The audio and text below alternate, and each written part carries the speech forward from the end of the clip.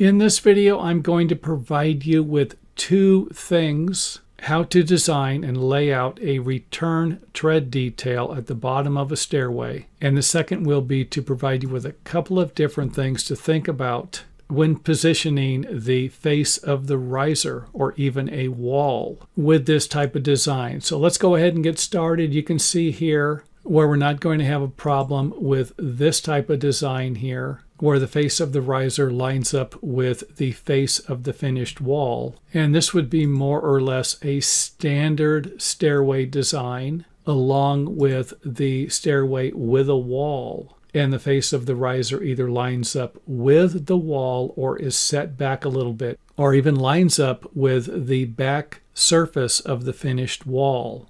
So I just wanted to throw that out there, provide you with a starter design here.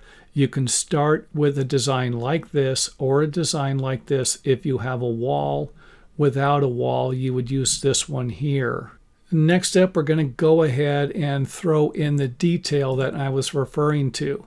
And to design something like this, you can simply extend each step the width of the step. So if I have an 11 inch wide step here, I can come out 11 inches and do the same with the next two steps. And those measurements would look something like this.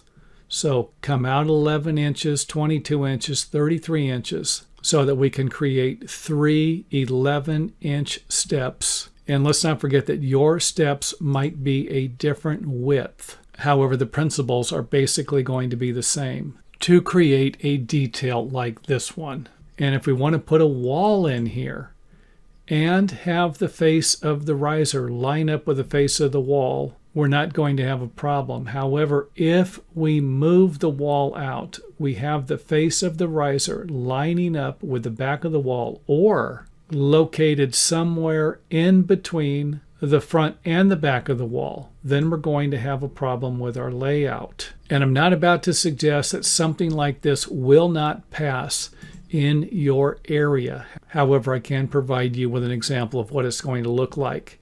If you don't line the face of the riser up with the face of the wall, like we're going to do in the next example. So here we have the face of the finished riser lining up with face of the wall so that we can create stair steps that will be the same size in depth. However, they might not meet the minimum width building codes for a stairway, and that won't allow you to use this design. So I just wanted to throw those things out there for anyone who needs a little more information about building this type of detail at the bottom of a stairway.